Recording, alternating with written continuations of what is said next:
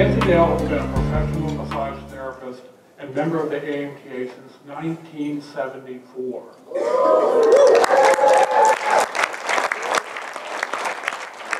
I had the great privilege to go to the National Convention last year where, received, where she received her 40-year pen.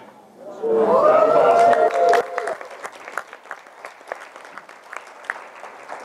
Nancy is the founder and the director of the Downeast School of Massage in Waldoboro, Maine since 1980. A leader in, her, leader in her field, she has served on the AMTA National Board, numerous committees, and was the charter president of the Maine AMTA chapter. Nancy has taught and presents workshops internationally, is certified in orthopedic and sports massage, and has developed the working philosophy of dimensional massage. She is lead author of Kinesiology for Manual Therapies, published by McGraw-Hill. Her BA in Health, Arts, and Science from Goddard College helps her balance her administrative duties as director with teaching dimensional massage, advanced skills, kinesiology, and let me tell you, when I went to school, I dreaded kinesiology day. I didn't do so hot and related subjects at DSM. Nancy enjoys her therapeutic practice for her clientele, traveling and teaching, and playing with her two grandchildren whenever possible at her home in Waldoboro. Nancy has provided the good citizens of Maine over 860 outstanding massage therapists. And Nancy's effort In Nancy's effort to provide her students and past graduates with, a better, with better skills, she has brought in over 30 continuing education providers, many of whom are graduates from her own school.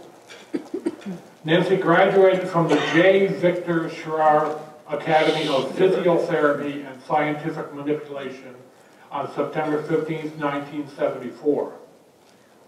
Her AMTA membership certificate to practice massage is dated 1977.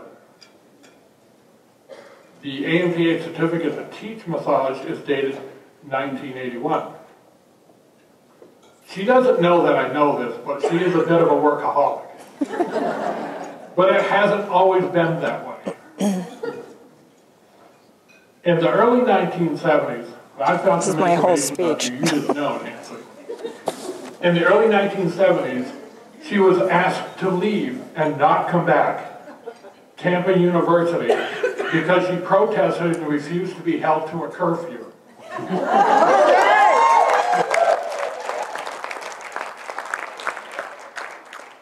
that is what led her to massage school in New Mexico.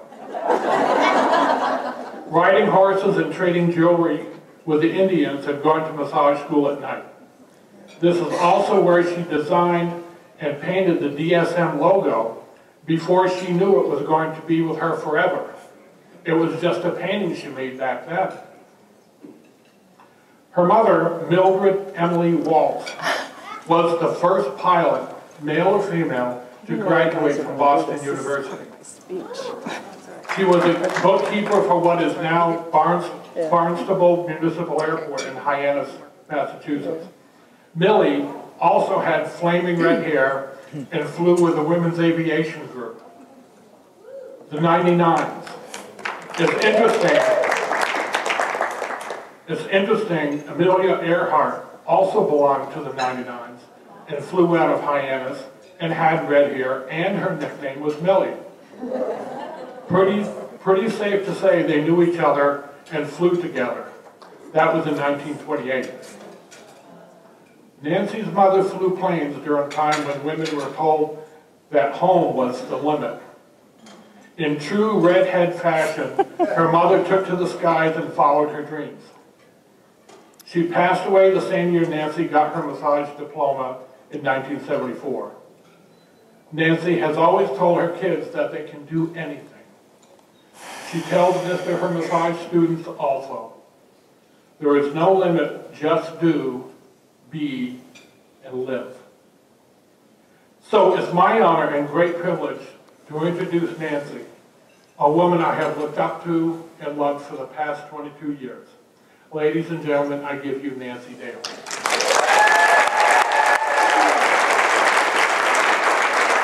Thank you, Michael.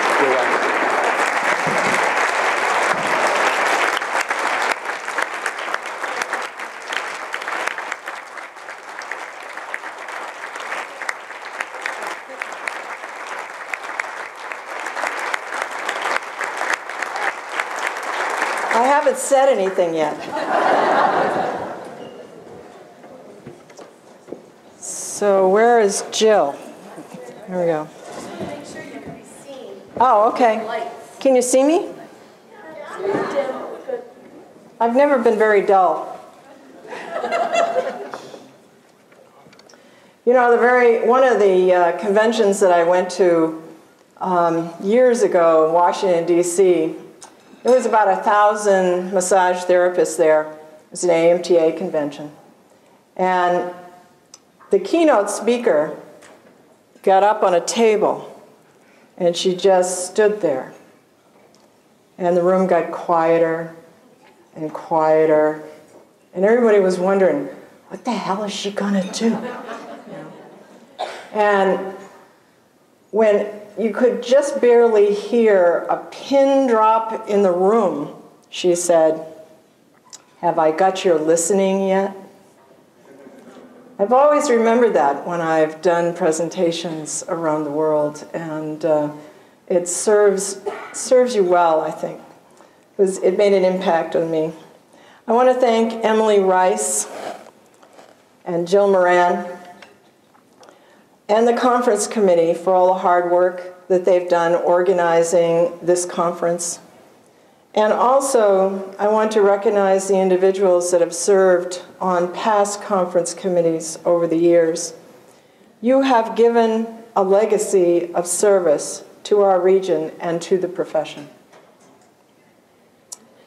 Let me also say that it is not possible in this keynote to acknowledge everyone who has left a legacy to this profession. So if I do not personally mention you at this time, it is not because you have not given enough to the profession. What we have done together over the years has been a serious amount of teamwork. I have been personally blessed to have so many wonderful peers in my life. This has given me more than the projects we have took to task. These people are all golden in my book and irreplaceable by time. What history remembers and what we remember as we live it are two different streets. I am in the process of reviewing a book for massage therapy. It's a history book currently. And I recently read a chapter on the time period that I have lived. What the author wrote and what I remember as important are two different perspectives. And when I brought those points up to the publisher, she said, You bring up valid points, Nancy. What that will mean in the end is really going to be up to the interpretation of both the author and the publisher. But I thought it was really interesting. And I think this is partially the interesting thing about our profession the artistry and the craft and how we incorporate the science is so subjective that when we stop doing massage or pass on, our work not always evolves. Often, history tells us we have to reinvent techniques and modalities. Our individual legacies, therefore, are extremely important to the history of massage. Most people, when you ask them, What is your legacy?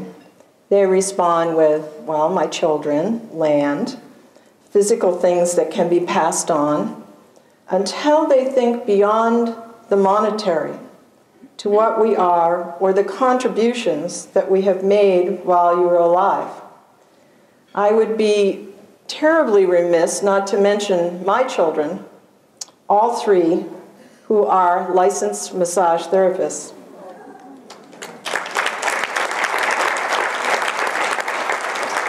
And of course, those are my beautiful grandchildren. So, what is your legacy?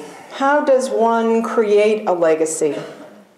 Legacy is defined as something received from an ancestor or predecessor or from the past. That's from Webster. Gift, land, bequest, inheritance, or heritage. It also means how someone is remembered and what contributions they made while they were alive.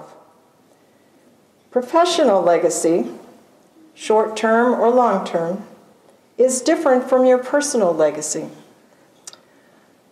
Alyssa Haynes said, My legacy so far is probably a lot like most of my colleagues people who sleep better, people with less pain, a kid with sensory issues who now hugs his mom, people who have more to give their families and jobs and passions because they feel better. That was really, that was in caps. Your professional practice is providing a memory to all your clients. I love massaging massage therapists. Their bodies are so in tune with receiving massage that your hands can hear the relaxation of tissues almost as soon as you touch them. It kind of melts into the table, right? Our skilled professional touch is leaving a legacy of healing to countless clients on a regular basis.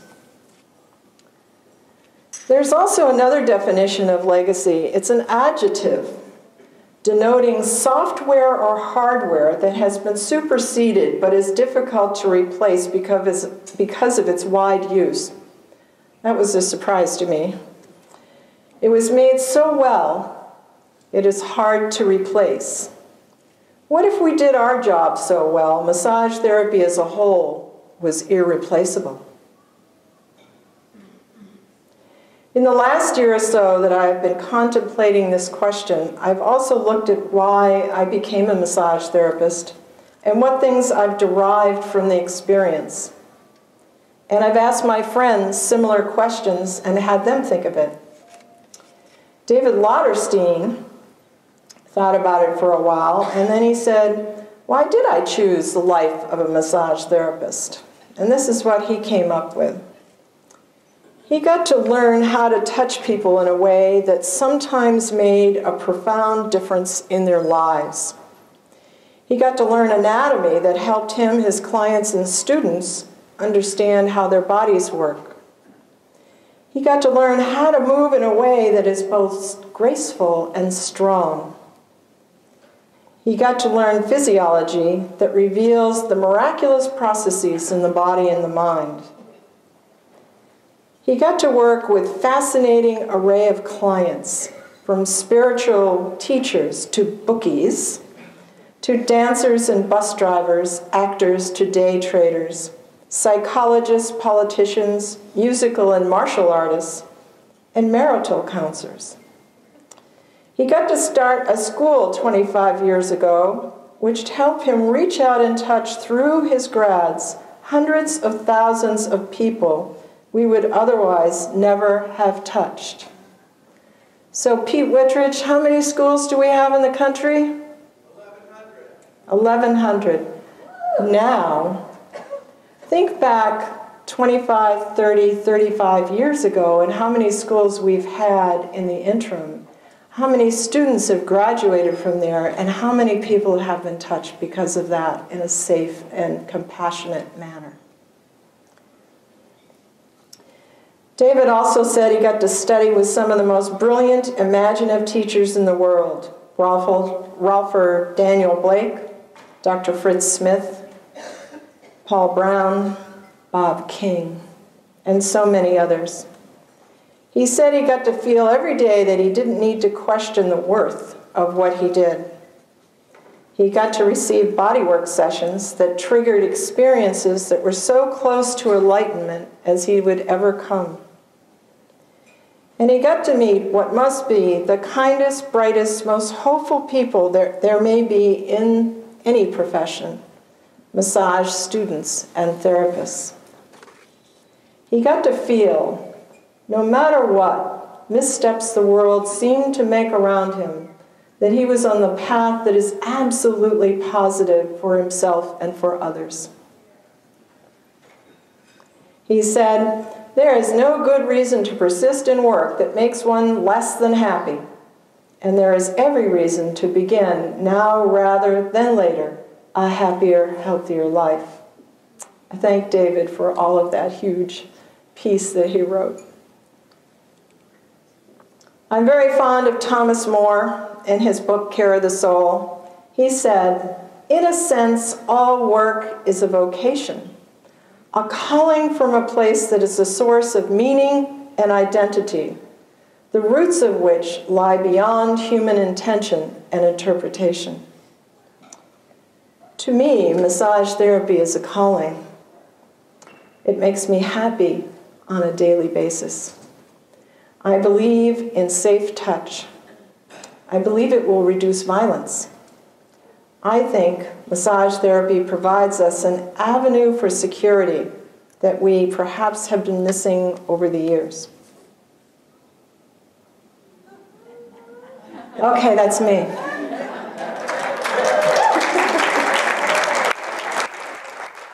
So in the 70s, I did attend, um, I was a hippie. I totally confess it.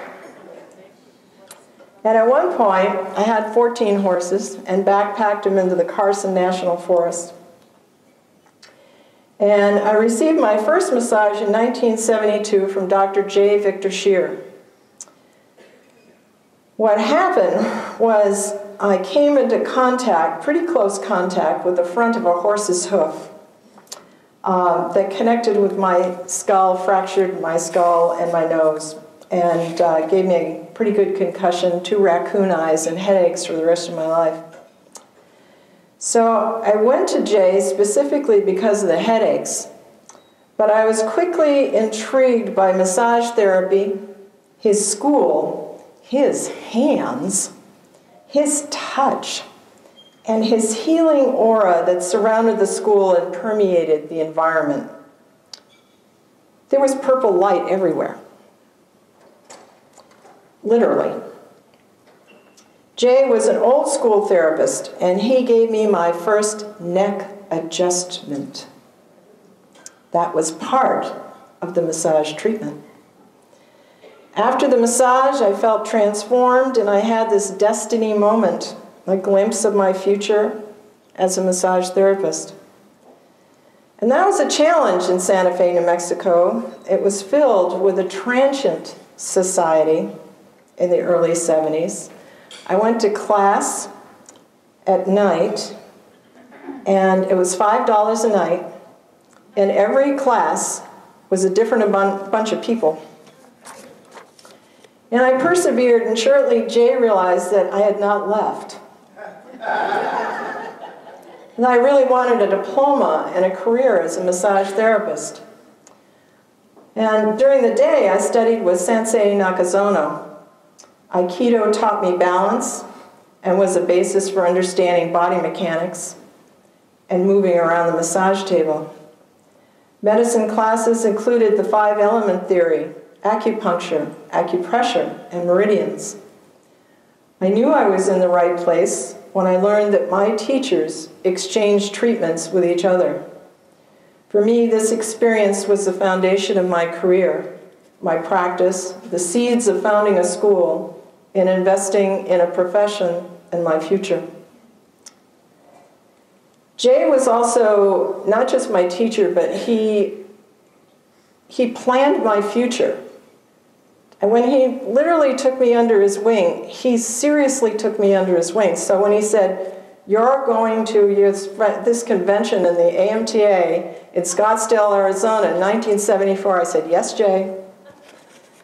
And I took the RMT exam, and there I met other individuals who had been caretaking the profession from the 40s when the AMTA was first organized.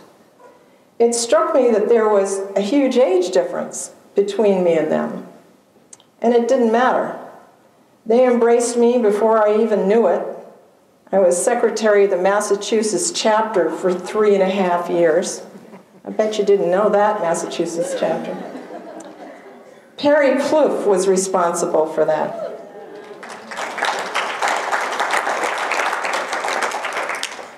You only have to look around you to understand her legacy to our profession as national president, leader, and massage therapist, and conference organizer. I also met Ruth Williams, who told me the reason we learn Swedish massage as a foundation is because there is hardly another modality that does not have some form of Swedish technique in it.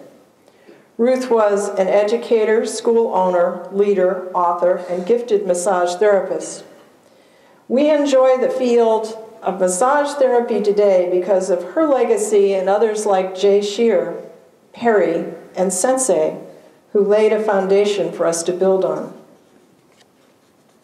That very first convention taught me that massage therapy was a huge profession and that education embraced the whole field. The excitement at the convention was electric and contagious at the same time. I left enthused by the education and impressed by the educators who had caretaken the profession to that pivotal time. I had to wrap up my New Mexico education in 1974 as my mom was dying with cancer. Sensei took me aside before I left and told me I would not be able to save her. He helped me accept her illness and prepared me for the inevitable. I had thought I would be able to care for her for a while, but she died the day after I arrived home while I was in the Boston hospital. I remember I was afraid in the end to touch her. She was so sick. That is one reason why I'm so grateful to the Society for Oncology Massage for their work today. Tracy Walton comes to teach oncology massage at DSM every other year. And as a part of that, we have a clinic open to the public for survivors and individuals who are struggling with cancer. This last October, I was moved by the clinic and I wrote a poem about the experience. In memory of Kate Waltz Hickson, Nancy's best friend. Thank you, Jill. I couldn't say that myself. This is called If the Walls Could Talk. If the walls could talk, the paint would weep.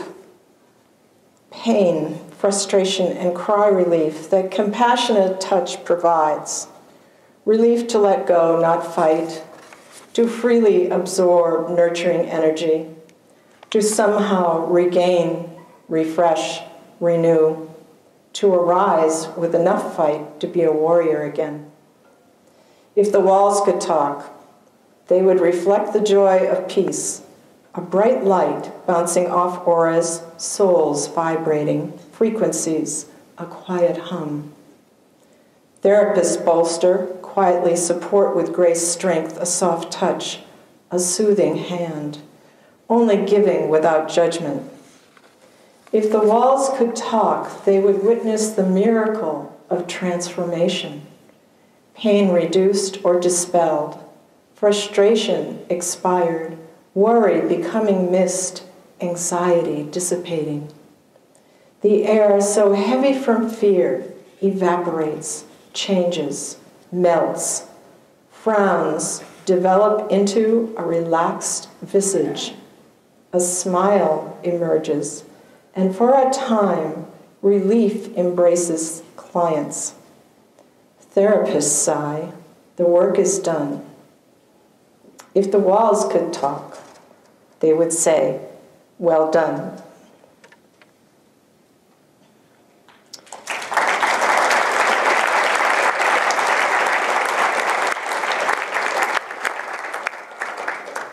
I cannot express how appreciative I am for Tracy's work as an educator, massage therapist, author, and expert listener.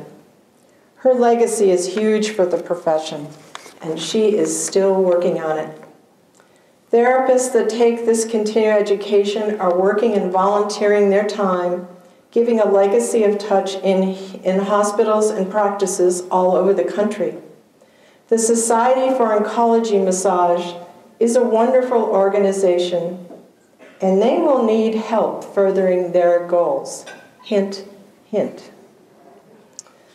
After my mom died, I moved to Maine and started my practice. I also became an EMT, served on the ambulance service, made inroads with, with physicians in the ER and OR, worked for two chiropractors, and for years traveled to AMTA events and meetings in Massachusetts and New England.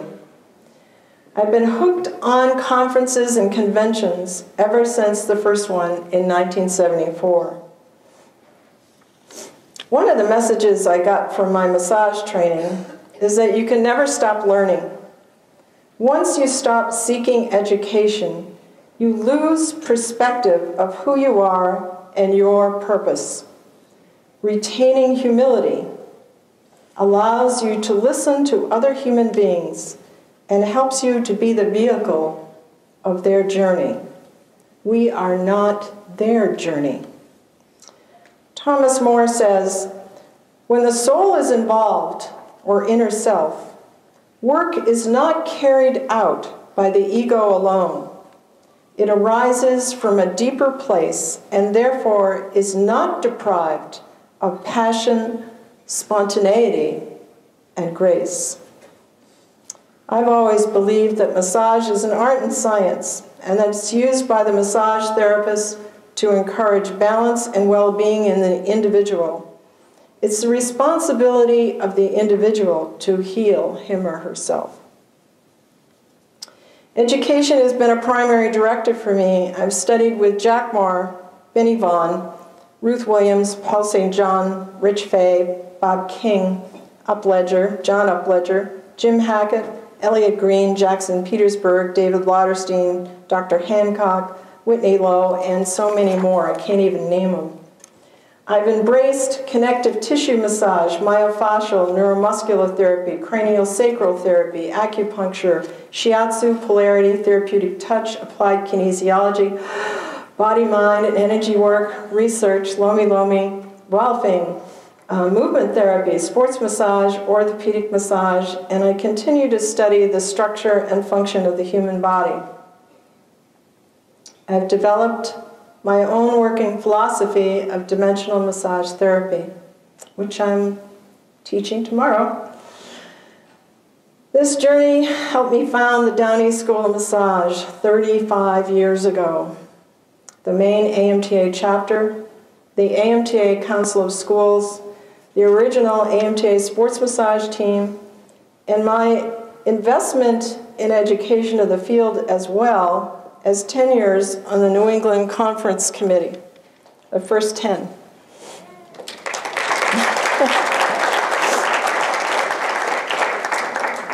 My journey has given me peers that I highly respect and bonded with over working for the profession. I cannot express how meaningful it was to be on the AMTA National Board with Bob King, Elliot Green, and others. To create standards with Sally Neiman, Ruth Marion, Iris Berman, Catherine Hansman Spice, Margaret Avery Moon, and Steve Kitts for COMTA. Or to work on on site teams. Another opportunity. COMTA always needs on site evaluators and commissioners. Hint, hint. I presented to physicians, hospitals, colleges, nurses, peers, and to the public all over the world. It took me four years, but I did write a book, Kinesiology for Manual Therapies, and I produced a Gift to Touch, a teaching DVD. I continued to travel and teach, run the school, and practice massage. I love my practice. Now, I serve as a committee chair for the Alliance for Massage Therapy Education. It's an organization comprised of schools, administrators, faculty, and CE providers. It's probably no surprise I plan their conferences. This year, we're going to make history by inviting multiple stakeholder organizations to come together to collaborate for the profession. In July, in Minneapolis, Minnesota, we're holding the first Educational Congress. I'm excited to be part of this amazing event and legacy.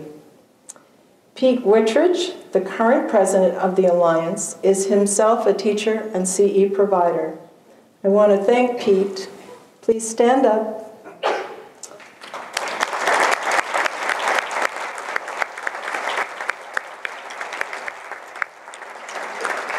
I want to thank For his devotion to this great field of massage and to his contributions to massage education and to the Alliance. Thank you, Pete.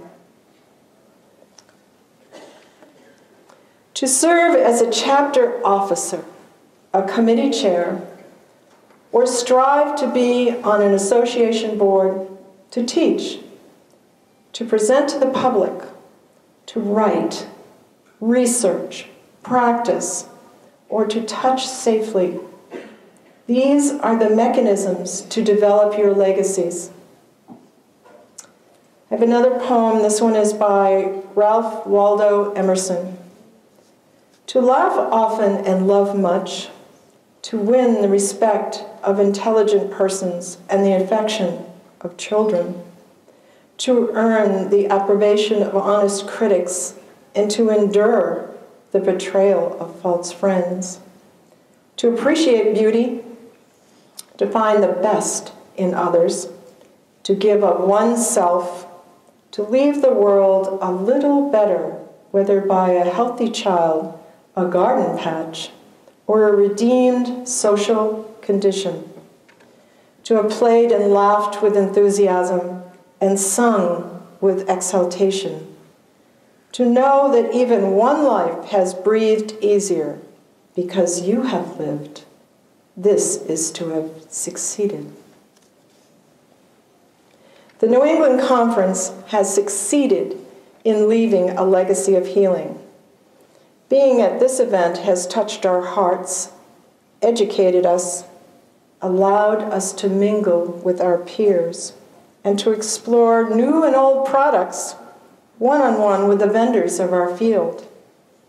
It has birthed ideas, fueled our hearts with enthusiasm, and taught us that continuing education is a very big part of our profession.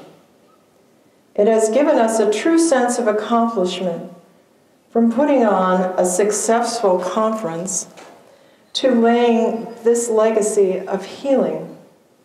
It has whisked us away from the isolation of practice helped us prevent burnout, and given us the opportunity to share our ethical dilemmas.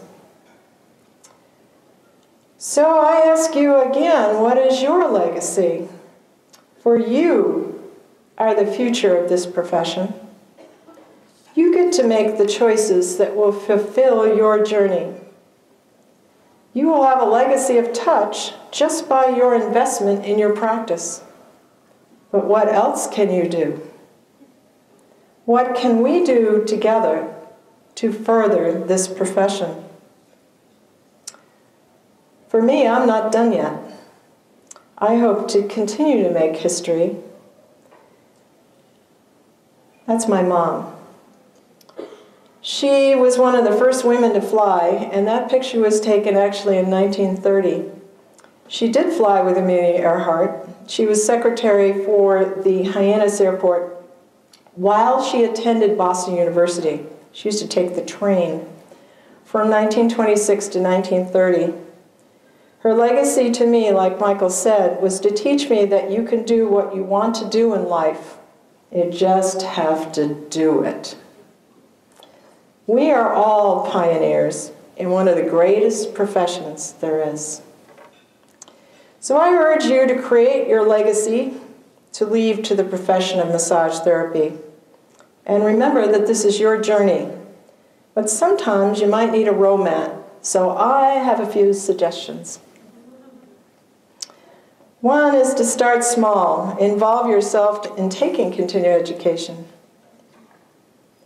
The next is to find a mentor who can help you see the forest through the trees That's Benny Vaughn, one of my greatest mentors, and Tim Agnew, who's my co author.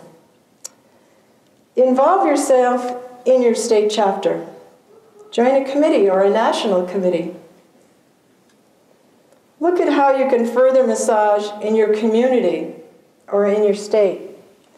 That, by the way, is Mark Beck. And after he became paralyzed, he continued to write a book. Make a five year plan. Look at your life as a journey and plan your route. Ask yourself, why am I in this profession? And what can I do to further the profession? Start small. You don't have to be the president, the national president, tomorrow, either in your state chapter or the national board. Do you want to teach? I have to say, if you really want to learn something, teach it. I would look into the standards for teaching from the Alliance for Massage Therapy Education. Take those courses that will prepare you to teach. They have a conference. Surround yourself with individuals who are visionary. Link yourself to a school that supports standards, provides CE hours, and supports graduates. Reach out and meet your peers. These are people of like minds. Research massage. The Massage Therapy Foundation has provided us with the mechanisms of research. Another wonderful organization to investigate, and they have conferences. Hint, hint. Right. The Alliance has many members who are authors and publishers that attend the conferences. This is actually a picture of all the authors. I couldn't get them all in the same frame that were there. Authors are giving. You do not have to start out writing a book. You can review books for publishing companies, keep a journal, and write articles. Write a newsletter to your clients. Present about massage. I teach a class at DSM called The Art of Presentation, Public Presentation. It's a fun class, the students all love it. They hate to present, but um, there is an art in doing it and presenting and getting up in front of a group. It's a great way to market yourself and to do some institutional advertising for the profession of massage. And I know I'm speaking to a group that loves to get massage, but get massage yourself. Attend ethic classes and share your experience with your peers. Embrace your, your passion and explore expansion. Remember self care and prevent burnout. That's Cherie's pool, Pete. Whatever you do, remember that massage therapy provides a social service that is unquestionably valuable to the human race. Massage therapy provides a social service that is unquestionably valuable to the human race. Never doubt that.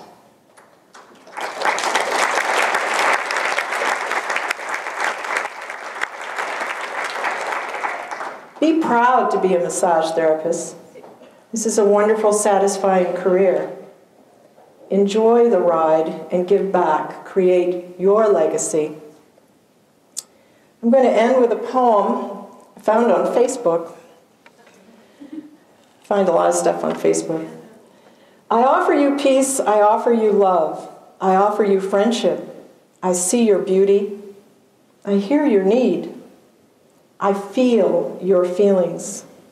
My wisdom flows from the highest source. I salute that source in you. Let us work together. Thank you.